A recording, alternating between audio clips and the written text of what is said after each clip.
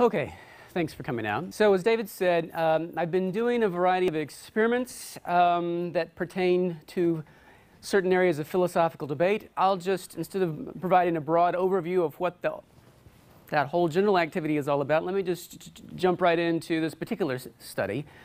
Um, the idea that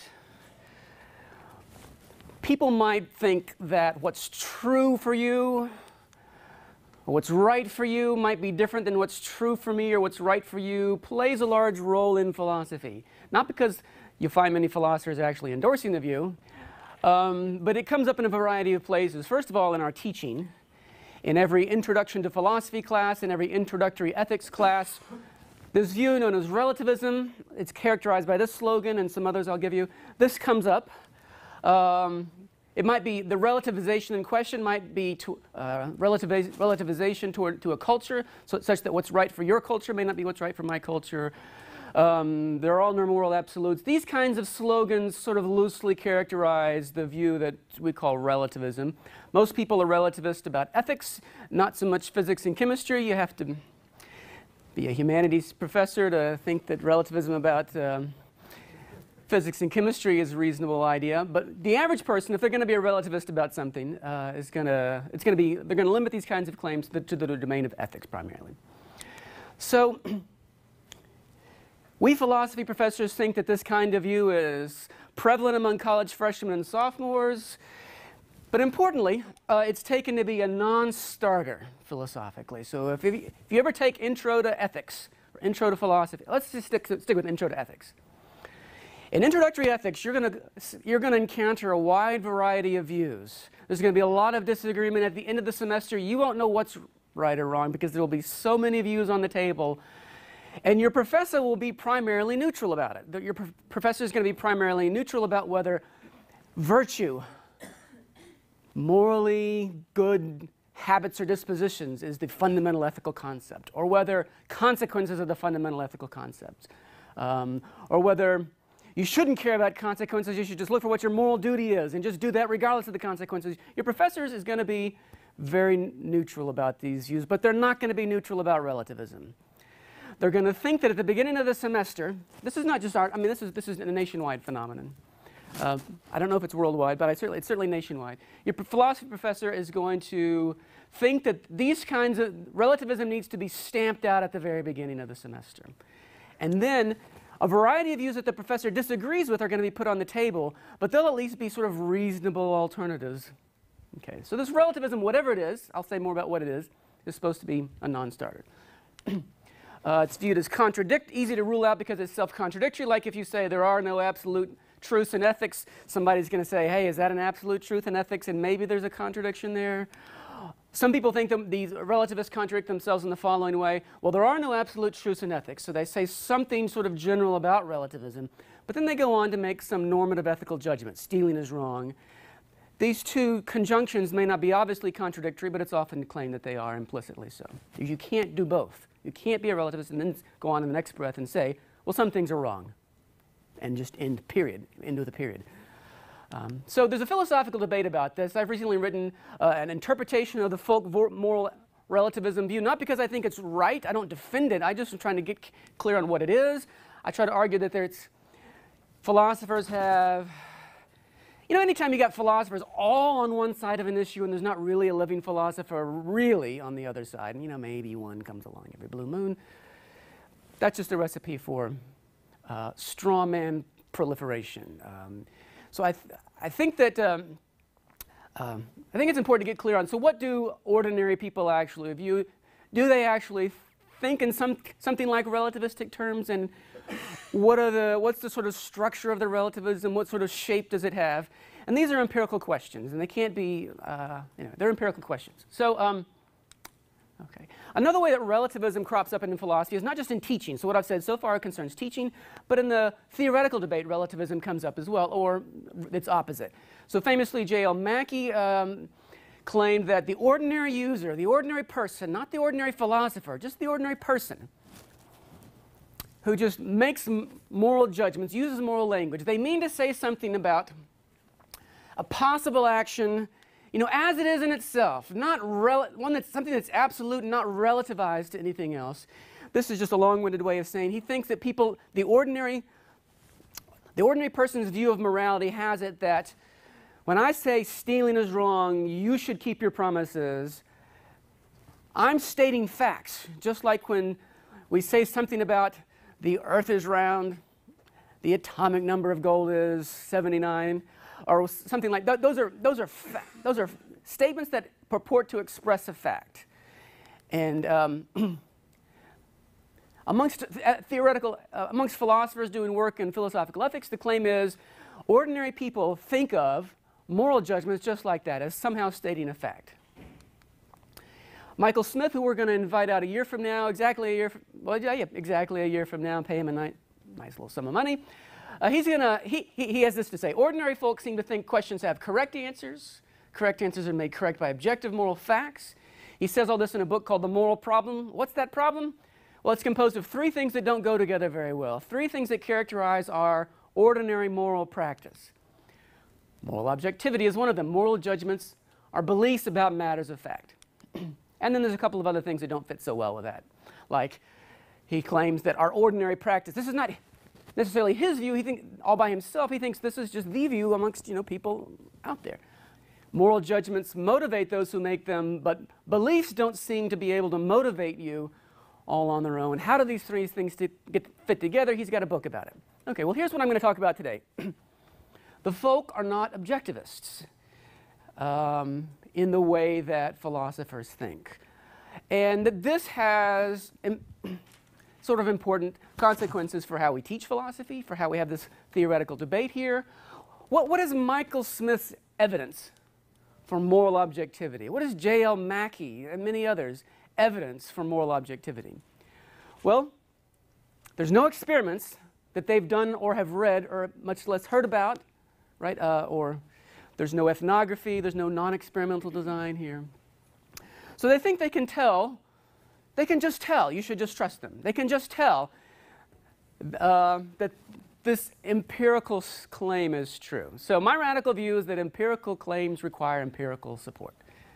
Um, and so some people have, myself included, have begun to try to um, investigate the respects in which the folk, that's just an abbreviation for the ordinary person, maybe in this culture, maybe in others,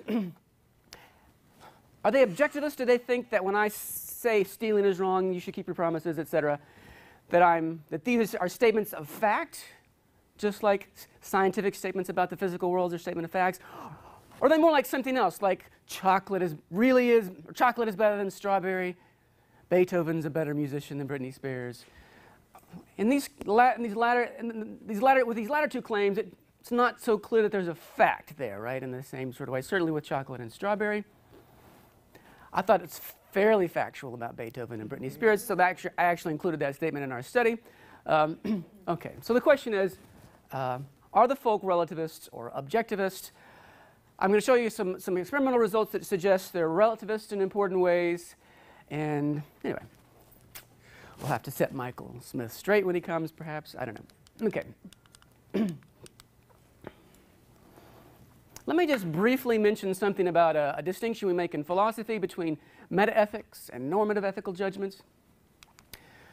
So on the one hand, when you're saying stealing is wrong, and maybe even saying why is stealing wrong? Well, it's wrong because you know you say something about the greatest happiness for the greatest number. You say something about rights. Um, you're doing something in the neighborhood that we call uh, normative ethics.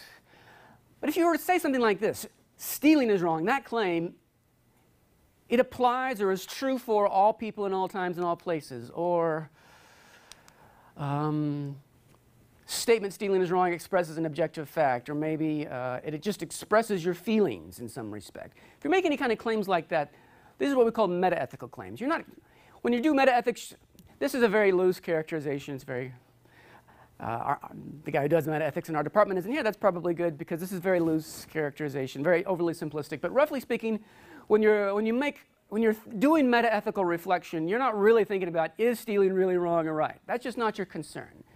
And you're not really concerned with the quality of reasons people are giving for stealing is wrong. You're concerned something about you're concerned with this larger, more abstract, more theoretical question about the nature of moral claims in general.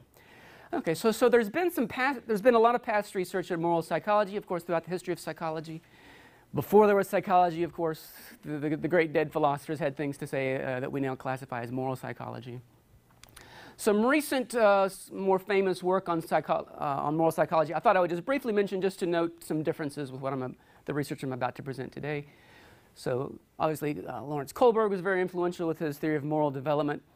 Um, all I want to say about that is he's not primarily focused on meta-ethical issues. He's focusing on, focus, by focusing on the reasons people gave in support of their claims and then classifying them according to some his stages of development, according to the kinds of reasons he, they gave. Um, he's, he's really focused more on normative ethics. And you can perhaps, you could maybe, some people do try to, to derive people's meta-ethical views from what you say about why is stealing wrong? And then you give a reason. And then we can maybe categorize the reason you gave as a more objective or less objective kind of reason. You could perhaps do that. That wasn't Kohlberg's focus. And in any case, it's indirect.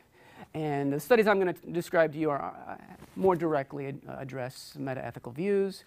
Uh, Turiel and his colleagues uh, looked importantly at something called the moral conventional distinction and at what age children master this distinction between merely conventional norms like you, uh, you should raise your hand in class before speaking versus uh, other, other things, uh, more serious violations. So children recognize very early that um, if your teacher says, oh, you don't have to raise your hand before speaking today, children recognize, oh, then, then it's really, that makes it okay.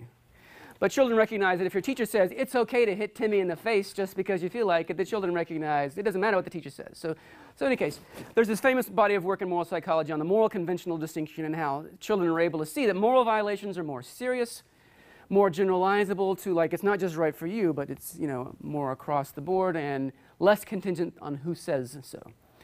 Uh, but again, this is uh, this doesn't directly get at people's meta-ethical views, because in some other subsequent re research, um, some researchers have shown that people who explicitly deny moral objectivism, they deny that moral statements express facts, they still treat moral violations as more serious, more generalizable, less contingent on authority. So the moral conventional distinction can be um, preserved within a view that denies any real much objectivity uh, to, uh, to ethics. Okay, so okay, let's, let's, let's, I'll skip this last bit and we'll just get straight to it. So, um, so as I mentioned before, so one way that I got involved in this is I was already engaged in the philosophical debate about writing about relativism.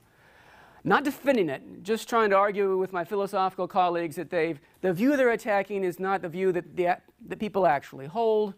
And then at the end of this, this happens all over America, the professor in Intro to Philosophy or Intro to Ethics will squash, they think, relativism in the first week or two. And then by the end of the semester, when students go to write term papers, what do you know? They're defending relativism. And so you'll hear hallway conversations between philosophers, philosophy professors saying, we, we, we, we've got rid of this. I mean, I thought we, what's wrong with students today? Can't they think, um, okay, because we, we got rid of it. We got it off the table. So the reason why I think their attempts to soundly refute it in the first or second week of class fail is because they're, they're just not addressing the view that their student actually holds. They're maybe squashing some view, but it's not their student. Okay. So I was already involved in that debate. And then uh, I became aware of some research by Jeff Goodwin and John Darley. Those of you students in the room who are part of the cognitive science major, you've probably take, heard of a, in an intro to psych course or some course like this, you've probably heard of the bystander effect, such that when there's lots of people around witnessing a horrible act, someone getting stabbed over and over again and screaming for help, the more people there are around, the less responsible you feel for actually doing anything about it. So that, that's John Darley. He, uh, he made, he studied that effect in the late 60s, and uh, that was a famous contribution to social psychology. Okay, and, Jeff Goodwin is one of his recent students, so Darley is Still very, okay, still very active. So here's what they did, Goodwin and Darley, to study the meta-ethical views of, of people. They had participants consider a variety of statements, statements like the ones you have on your handout. And then they asked them a, a meta-ethical question of some kind about it. So the statements, here I'm going to present to you the statements that I used, many of which overlap with Goodwin and Darley's, but not, not entirely. But the factual statements include this, things like this, frequent exercise usually helps people to lose weight. people thought that was less factual a claim than any other factual claim. I don't know what's wrong with, you know, we, and it, we talk about Americans' diets and other habits, but maybe, I don't know, maybe there's something else wrong. Was they taking factual Well, I'll show you. I didn't actually use the word factual anywhere. Oh, you'll, you'll see. Okay, so global warming is due primarily to human activity. Um, humans evolved from more primitive primate species. New York City is further north than Los Angeles. So I, I, I chose statements from three categories factual, ethical, and taste claims.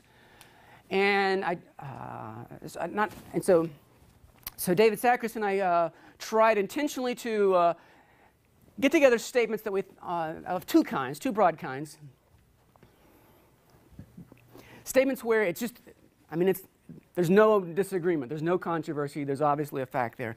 And then other statements where there's some perceived there's some disagreement or controversy about it within our society. So in every case, we we try to get a mix. Um, anonymously donating a significant portion of your income to charity is morally good. Some other ethical statements concern stem cell research. Stem cell research is morally wrong. Abortion is morally permissible before the third month. Treating someone poorly on the basis of race, wrong. Taste claims are, this is a sample. McDonald's hamburgers better, taste better than hamburgers made at home. I thought I chose this one. I, I thought this was a pretty, object, pretty objective statement. People didn't seem to agree with me so much. I thought that's pretty objective, right? Brad Pitt's better looking. Isn't that a kind of fact? I thought that was a fact. Anyway, I know what you're supposed to say about taste claims, and yet I thought there's something factual like about that claim. Beethoven better than Britney. Okay. So again, I intentionally chose some taste claims that I thought were pretty clear, and then some where it's clearly up, up in the air. It's just your opinion. Okay, so so my co-author, my co-investigator David, David Sackris and I, um, we read this article and discussed this article by Goodwin and Darley together, and it, what motivated us to begin our study, in addition to the other reasons I've given you, is the fact that we just noticed some some things that, we, that bothered us about their study and, and other related studies in the area. So here's, first of all, Goodwin and Darley presented these statements to people and asked them whether they agreed or disagreed. And then they presented the following uh, tests for objectivity, meta-ethical objectivity. How would you regard the previous statement? Circle the number. True statement, false statement, an opinion or attitude. So I thought this was very problematic for a number of reasons. Um, uh, before I say that, I should, I should note, so if a student asked, if a participant answered number one or number two, then they were scored as giving an objectivist answer. There's a fact there.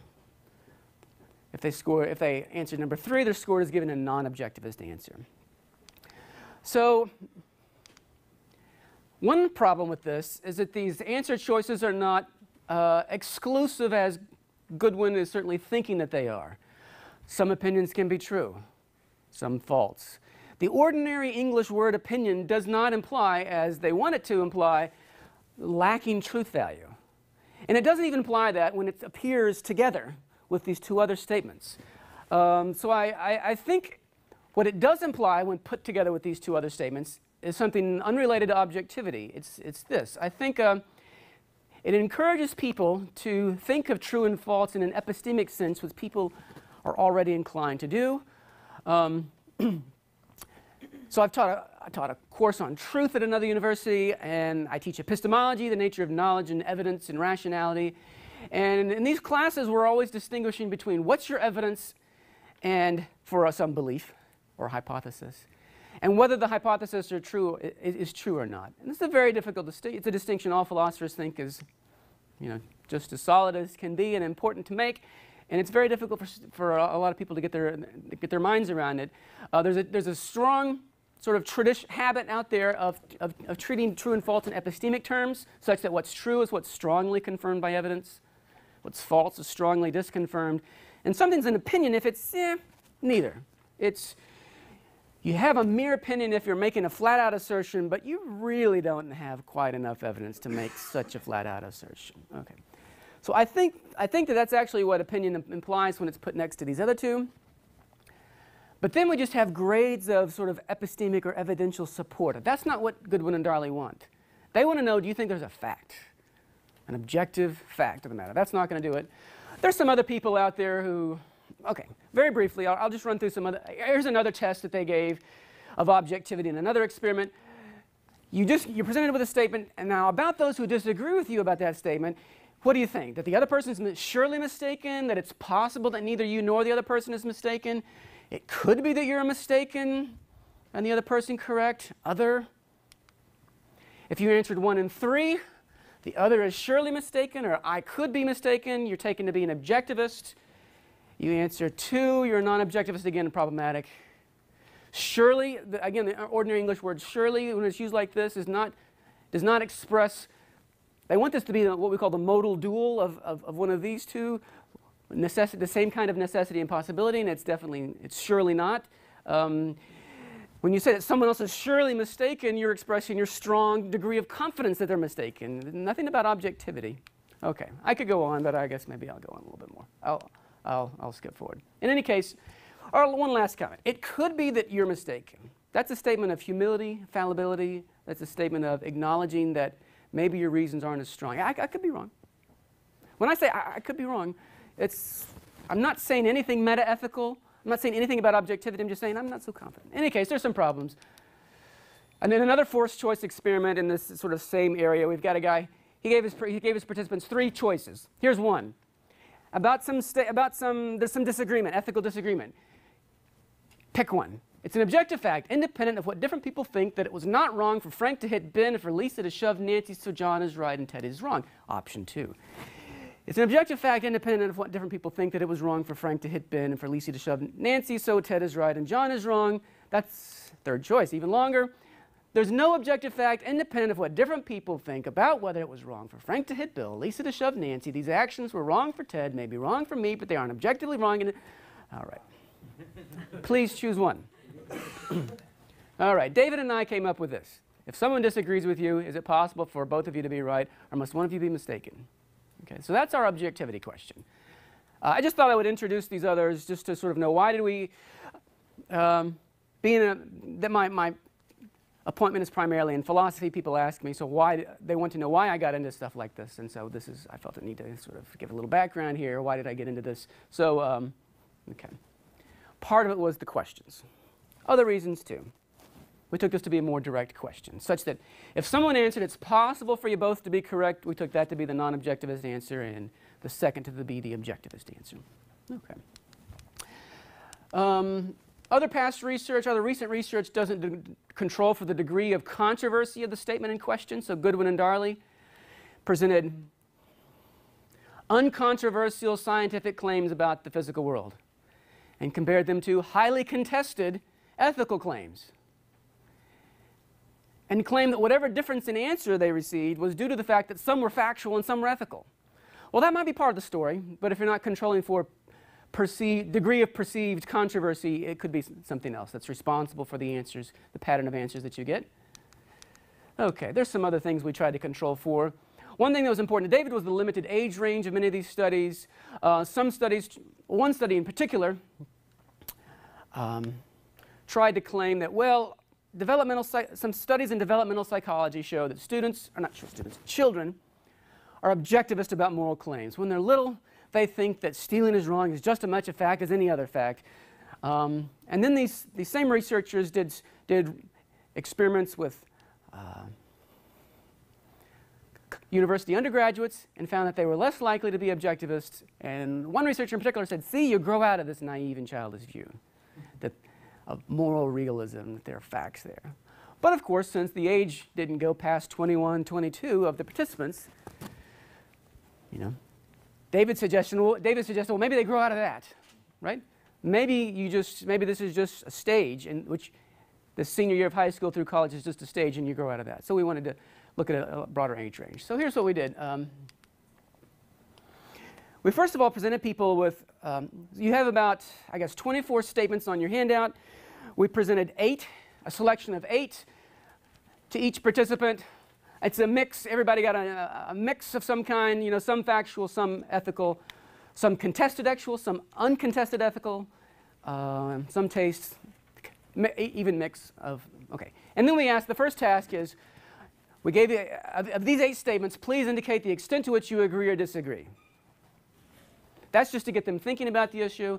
Then we gave them our objectivity question. If someone disagrees with you, about each of these statements. So then you go through back the same eight, you go through the same eight statements again. If someone disagrees with you, is it possible for you both to be correct or must one of you be mistaken? And then finally, we ask them this question to see uh, about how much disagreement or controversy they thought there was about the issue. So on a scale of 1 to 6, rate the extent to which you think people in our society disagree. No disagreement at all, extremely large.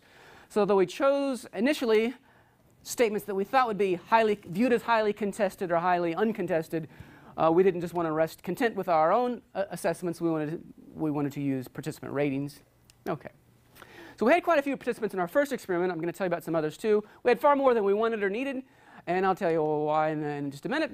Um, but we had seventh graders from Orchard Park Middle School. We chose a sort of middle of the road socioeconomic status school, not the Buffalo City schools, not Williamsville, not Nardin Academy or Nichols. Okay. Ninth and 12th graders from the same school district, some Erie County Community College and students and staff, some UB undergraduates, UB, some UB staff, no faculty allowed, professors are kind of weird. I mean, really. Um, but the reason why we have such a large number is primarily from the UB alumni. They were extraordinarily enthusiastic about participating in an online questionnaire, and they just came in by the droves. Um, and um, they were very useful, too. They wanted to email and discuss the issues and talk, and that was actually very useful. We realized that one of our questions uh, was bad, we threw it out. We realized that there's maybe some prob prob problems in another area, so they're very useful discussants. And so it was, it was nice to see their loyalty to their alma, mater coming out in this way. So um, now obviously this is, an, this is what we call a convenience sample. It's not representative of Americans generally, so we have a wide swath of ages. Oh, I should mention the ages, ages 12 to 89. I was impressed that there were quite a few people ages 88, 89, that actually successfully completed the task of navigating an online questionnaire. That's, I thought that was. See what a, you, UB, UB's a, must be a good place to educate them well. Anyways, they're unrepresentative geographically, unrepresentative um, educationally, and everybody ba basically has a college degree or is pursuing a college degree who's over 18. So, okay.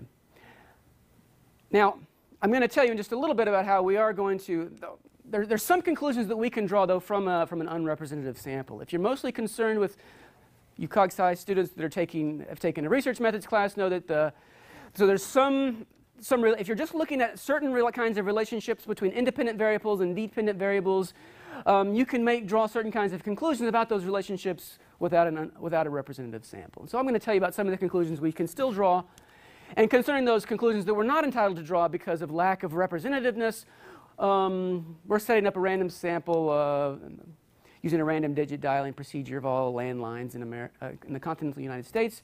We've put that on hold for just a little bit so we can do a couple of extra little extra follow-up te tests to, anyway, results are coming now.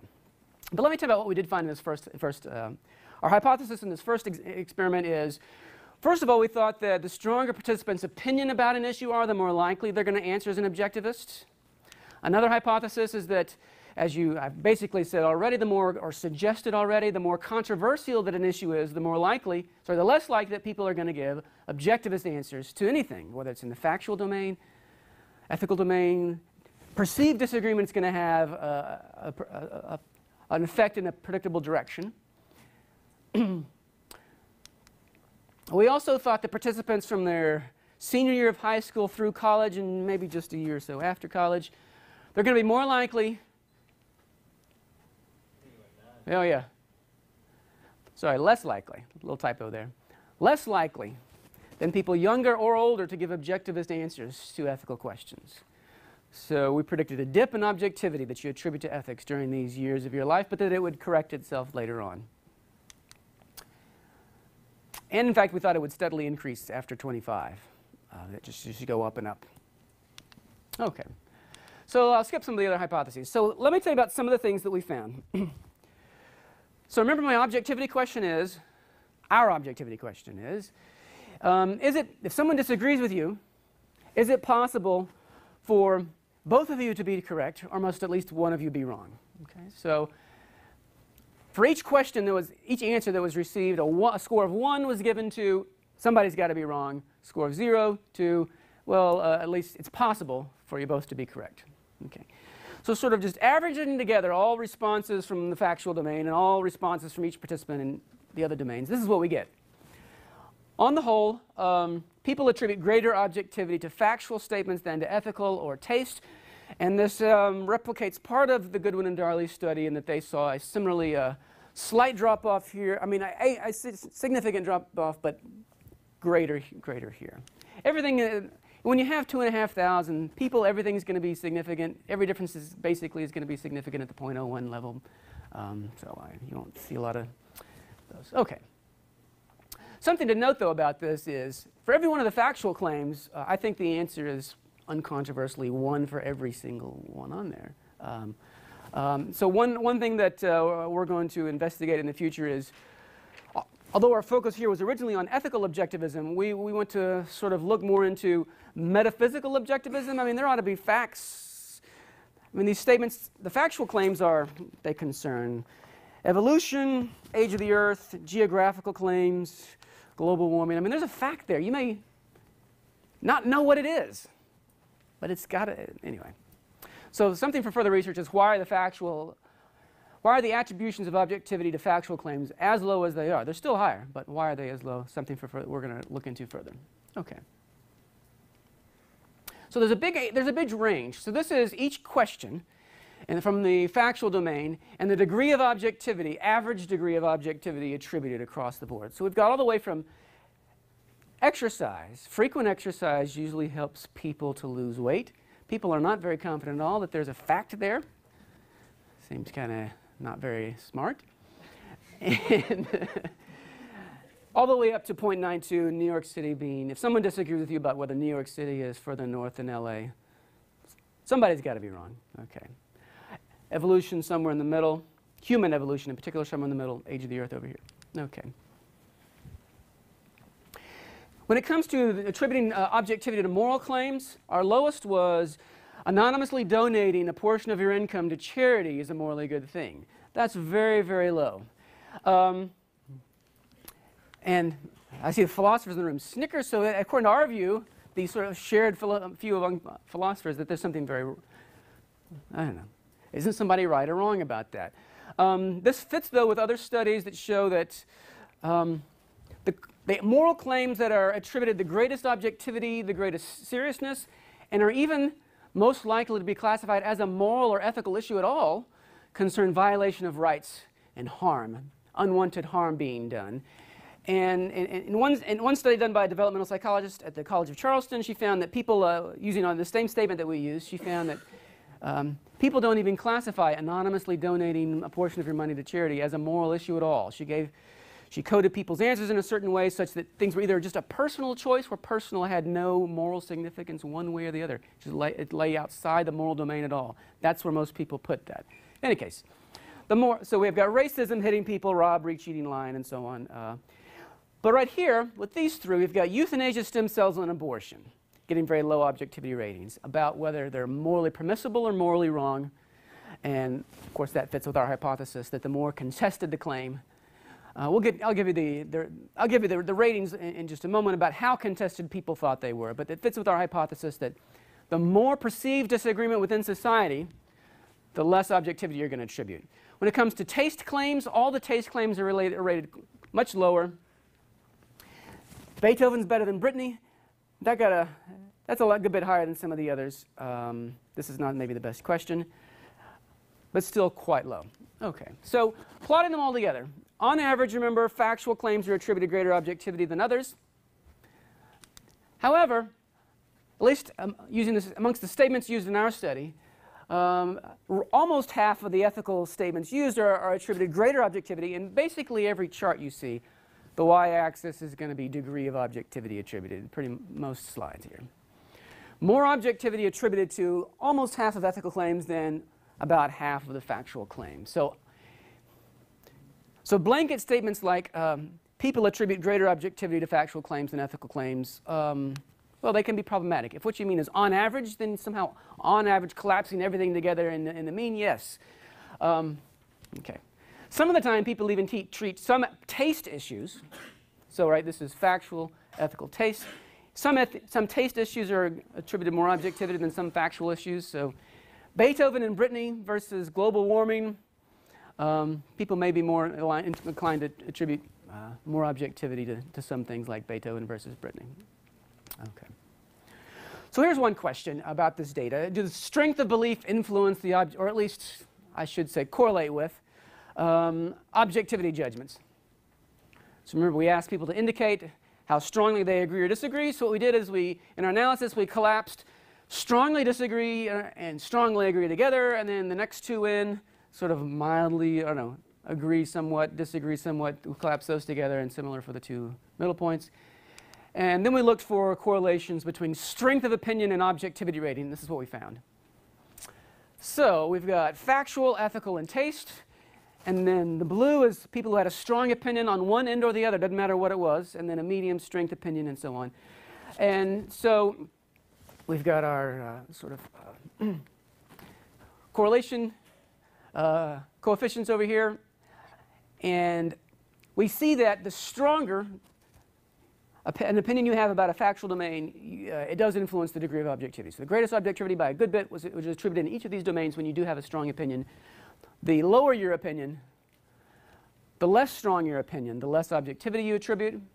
And also you can see that on the whole, people just had, oh anyway. Anyways, so strength of opinion does, does uh, strength of opinion does influence. However, people tended to have stronger opinions about ethical matters than either factual or taste claims. So, does strength of opinion matter? Yes. How strongly you have an opinion one way or the other, that, that, that, that influences objectivity that you attribute.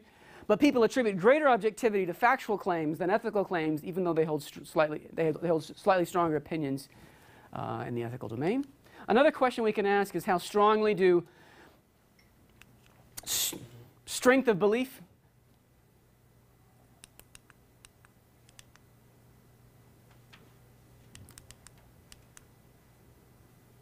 Oh, I had that backwards, didn't I?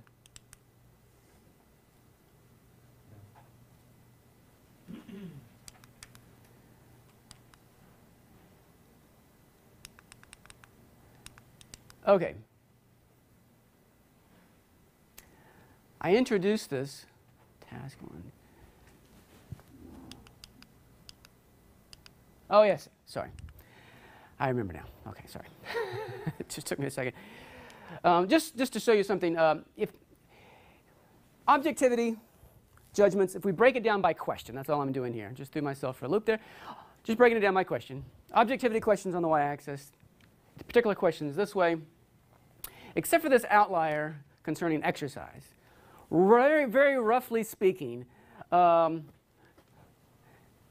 the red data series is equivalent to the, the, the blue one. Where blue is um, how strongly do you feel about the issue one way or the other?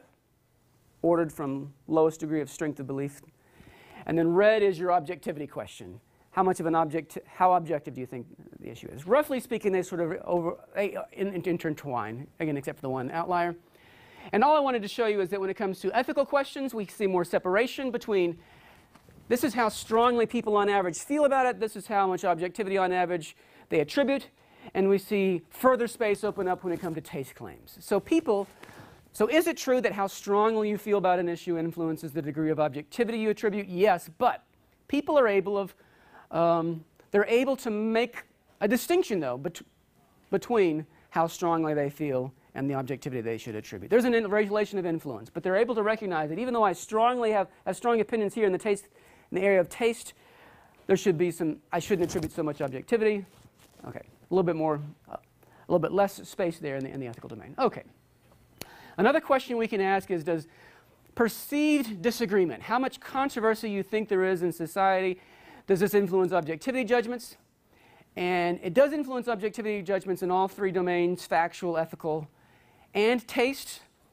So again, on this axis, objectivity, degree of objectivity attributed. On the, the x-axis, the perceived degree of disagreement from one, there's no disagreement in our society at all towards, uh, I forget exactly how I worded it, an awful lot, roughly speaking, an awful lot of disagreement.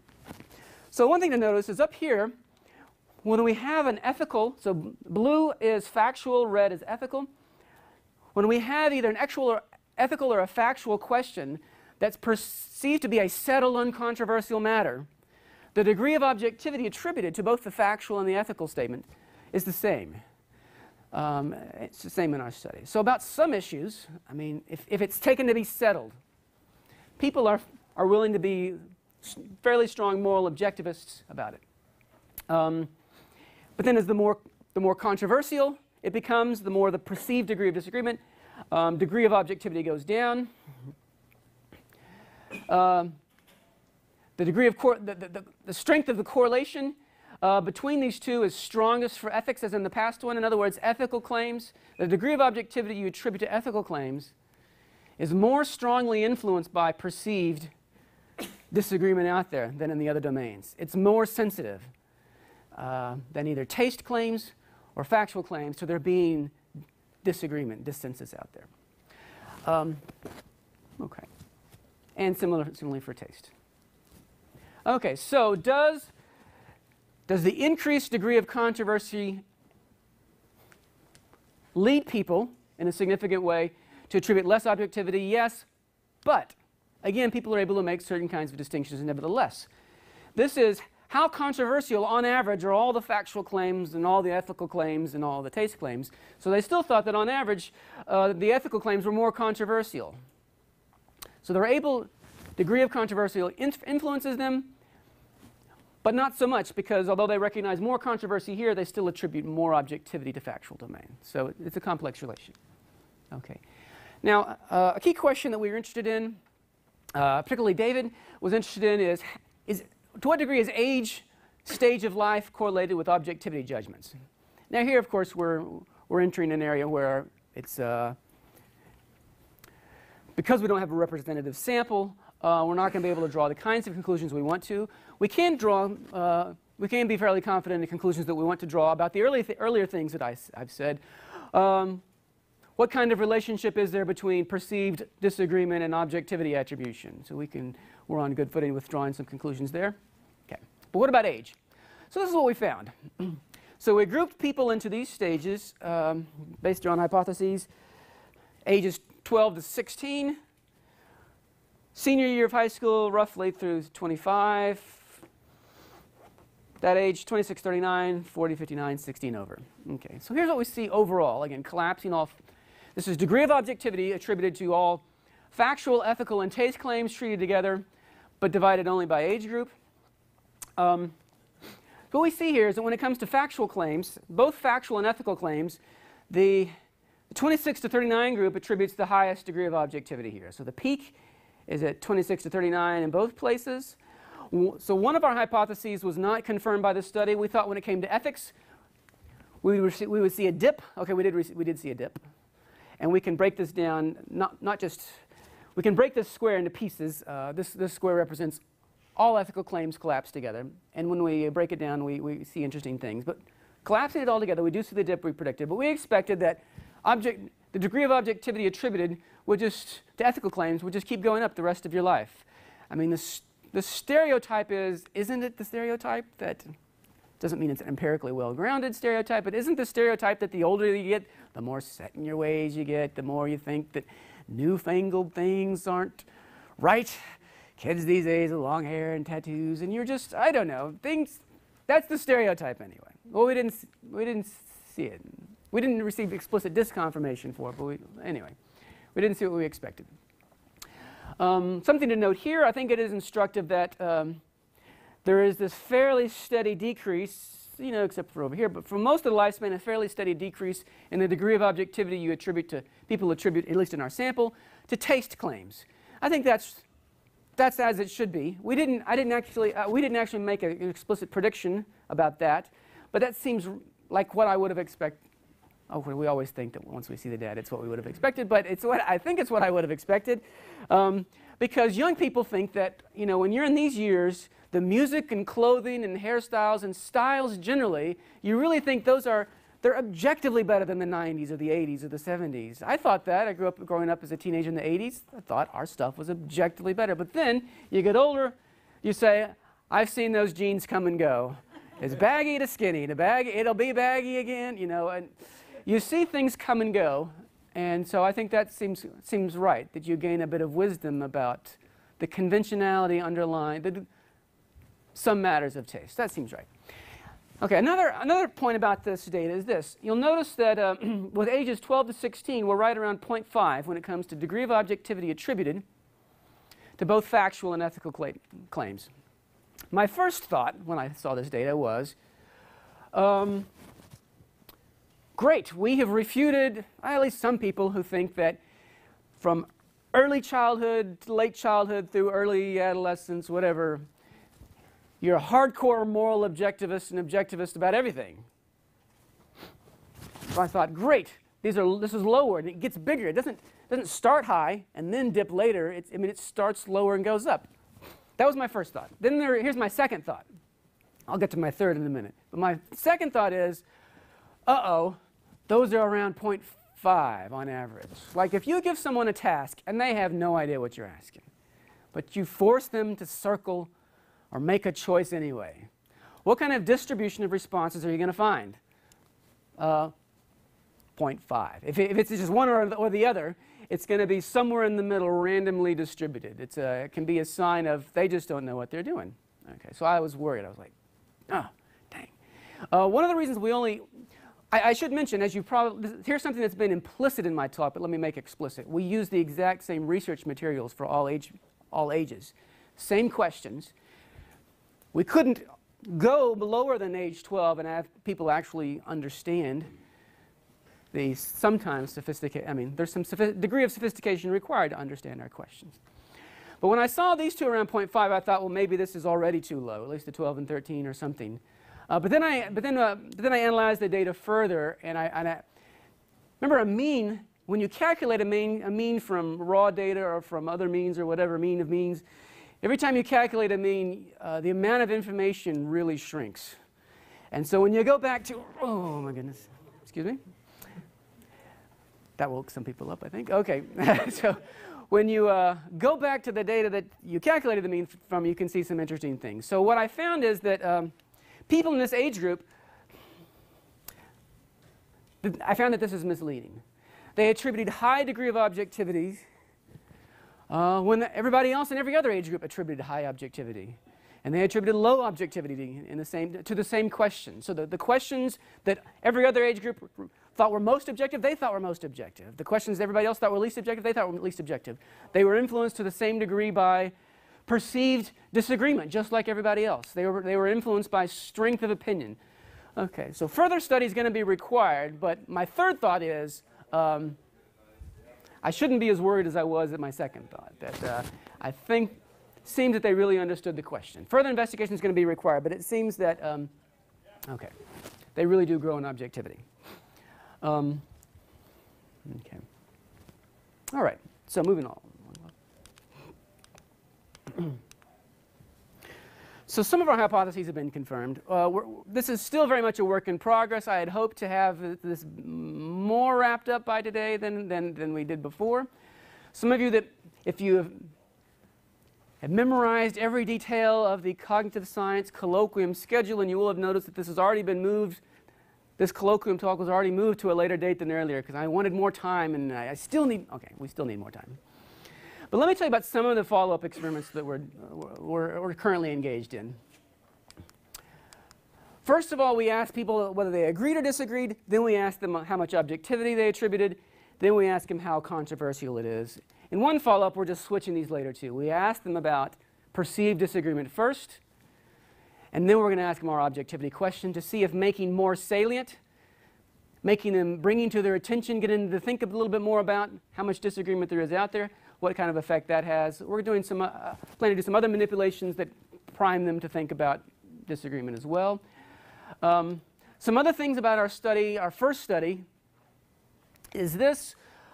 Uh, first of all, our, our objectivity question was hypothetical. If someone disagrees with you, okay, there's no actual person disagreeing with you, so it's hypothetical. And then the someone is, well, this is vague, indeterminate something. There's no person in particular that's hypothetically disagreeing with you.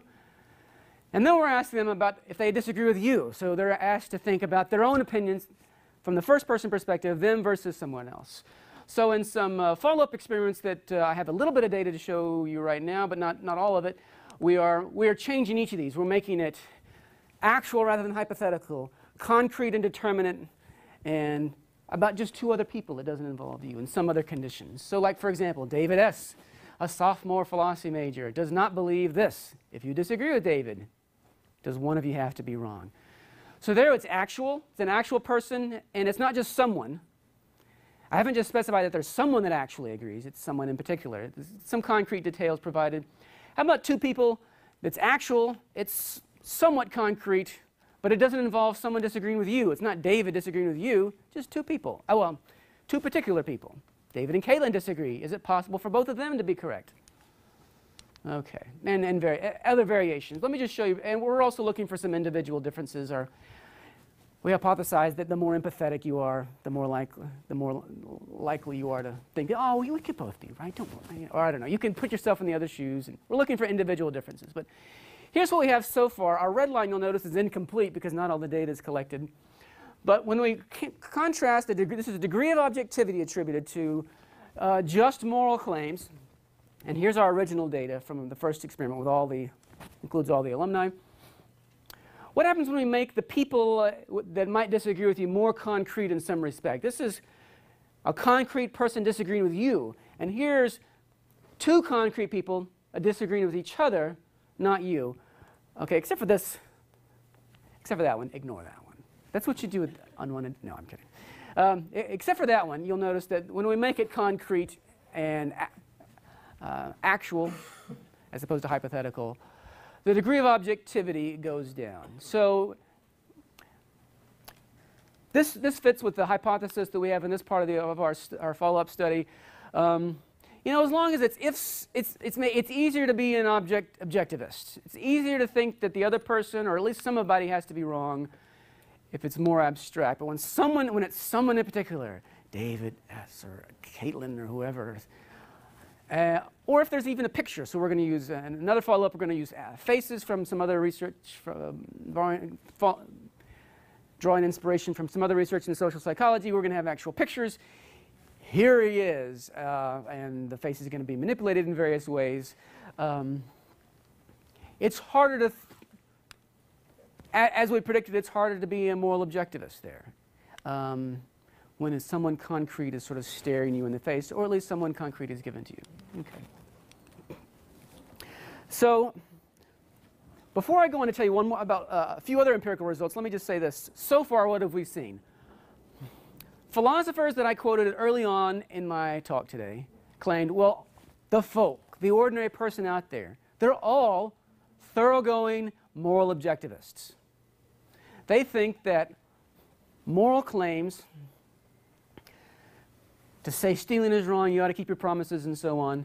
This is fact stating discourse, just as much as scientific claims about the physical world is fact stating discourse. So the research so far suggests that that's mistaken, that people are not straightforward objectivists. Um, and also, I think, suggests that the view of the average college freshman or sophomore, um, the, the, view that's the average uh, common amongst philosophy professors is also mistaken. The view is facts the, view is moral discourse really is fact stating discourse, and any college freshman that comes into my class and says otherwise is thoroughly confused. So confused in a way that I've got to squash their belief. Um, that doesn't seem to be correct either. I mean, we see people of all ages responding with lower objectivity ratings uh, in certain predictable ways when there's more disagreement, when there's um, less strongly held opinions, when the cases, the questions are presented more concretely. Um, okay, so I d- I don't think that the folk are going to be objectivist in the way that we've always claimed. But I don't think they're going to be simple minded, simplistic relativists um, in, in a way that can be easily refuted either. I think that folk relativism is going to be multi, very multidimensional. Let me just show you one more dimension of folk relativism. Here's a study undertaken by uh, Hagop Sarkisian, uh, a team of uh, philosophers and psychologists um, he's going to have people disagreeing, but he's going to vary, vary things in a different dimension than we have done. This reveals, I think, a different dimension of folk moral relativism. So here's a student. The picture is included in the study. Uh, Hagop teaches at Baruch College in, in New York City. Here's Sam. Sam comes from Poughkeepsie. He likes football, going to the beach. Okay, he's a regular guy, is the idea. However, Sam has very different moral views than most of his fellow students. Now consider the following moral claim, the following statement. Horace finds his youngest child extremely unattractive and therefore kills him. Something that beyond the, ought to be beyond the pale, right? It's just, you know, it's, it's, it's like some philosophy professors, when they teach intro to ethics, talk about statements like, like this, like torturing infants for the fun of it. Is that okay? You know, and students say, why are you even bringing that up? Okay. Um, so it's a statement that's intentionally chosen to be beyond the pale, and I'll show you why. It's important. It's a good thing that it's so extreme. Okay. One of your classmates, here's somebody else, that, this was done just with students at Baruch College. One of your classmates hears this case and thinks that what Horace did was morally wrong, but now suppose Sam hears the case. Remember, he's a regular guy, just like you. Uh, he thinks that what Horace did was okay. Given that these individuals have different judgments, we would like to know whether you think that at least one of them must be wrong, or whether you think both of them could actually be correct. I think Hagop got his particular objectivity question from us. Didn't. So, um, in other words, to what extent would you agree or disagree with the following question? Since your classmate and Sam have different judgments, at least one of them must be wrong. Okay? Then what they did is they varied the culture condition. They introduced not Sam, a regular guy like you, um, the Mamelons, a hypothetical group of people, isolated tribe living in the Amazonian rainforests. Um, the surrounding areas are now controlled by technologically advanced civilization. They've struggled to hold on to their traditional cultures. And rest, the rest of this description, you're told it's a warrior culture. Okay. Horace finds his youngest child extremely unattractive and kills him. One of your classmates thinks this is bad. Not the Mamelons. oh, and must one of them be wrong? And then we include an alien condition. Uh, I won't read it because you get the idea. But here's what they found. We're, they're varying cultural distance. Same culture. I mean, you're told Sam's a regular Baruch college student just like you, all the participants. Mamelon's a different hypothetical culture, extraterrestrial. And just like in our study, this is degree of objectivity. So degree of, degree of objectivity goes down, okay? Even with a statement about which, you know, it's crazy to think that two people, isn't it crazy to think? I don't know. Philosophers would going to think it's crazy to think that we might both be right. I think killing your son because he's unattractive is just absolutely horrible. But hey, if someone disagrees with me in a distant culture, maybe that's okay. Maybe we could both be right. Um, so in, he intentionally chose an extreme case so, such that if we do find a variation in a cultural condition, and even that it would be it would be very telling, and I think it is. There's some other cultural variations. He varied the culture of the actor, not just the very, not just the the judger of the action, but the person act, acting as well. So I think this is another dimension of folk moral, well, it, further study is going to be required, but I think it suggests another dimension of folk moral relativism. We're more objectivists when we're making judgments about same cultures, the more culturally distant the actors, and so on, the less objective the average person is, is likely to be. So uh, I think this complicates the dialectic. Remember Michael Smith and the moral problem and uh, what a lot of other meta-ethicists say. Um, they're predicting we're going to be, the folk are going to be straightforward moral objectivists. I think this shows that we're not going to be. Um, our goal with this study and the follow-ups we're doing is to contribute to the, contribute to the philosophical debate. Um, moral realists, people who think, philosophers that think that moral discourse is fact-stating discourse, objectively true or false. Moral realists think that they have kind of like squatters' rights.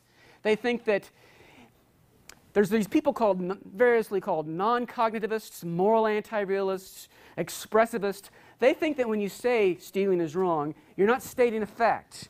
Like, uh, just to give you a, a brief example, um, a couple of years ago I, brought a, I bought a New York Yankees hat just because I wanted a navy blue hat. I quickly realized a Yankees hat is not just a navy blue hat. And one of the students, grad students in our department, Shane Babcock, saw me with the hat and he said, boo.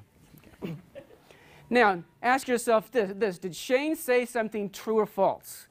When he said boo, did he say something true or did he say something false? He didn't say either, right? He communicated something to me, his dislike of the Yankees, but not by making, not by uttering a statement that was true or false. So these people called non-cognitivists or moral anti-realists or expressivists, their view about moral, moral discourse is something like that they have, it's more sophisticated than my little example might suggest, but the, the idea is when you say stealing is wrong, you can successfully communicate a variety of things, but not by saying something that's true or false, either one. So, this collection of views, this anti realist views, in philosophical debates, they, these, because these people defend views that are said to be counterintuitive, departures from common sense, um, it's, they're taken to have a really uphill battle. Because common sense is supposed to be objectivist, thoroughly, completely objectivist. And so they're taken to have to require stronger arguments to prove their case than the moral realist. The moral realist can say, I'm, I'm just the default view. I don't really have to argue as strongly as these other guys because I'm the, I'm the common sense view. I think, so evidence is coming in that's suggesting that it's not the common sense view at all. So that change, it doesn't solve the meta-ethical debate, but it contributes, I think this empirical data contributes to it. It contributes to the way the debate is framed. Uh, it contributes to certain sheds light on certain kinds of claims that philosophers might want to make, that moral realists maybe don't have what I call, what actually Hagop called squatters' rights. Um, and that, and that, that seems right. So this is how, um, okay, so this is our study and how we've tried to contribute to the debate on moral objectivism. So thank you very much.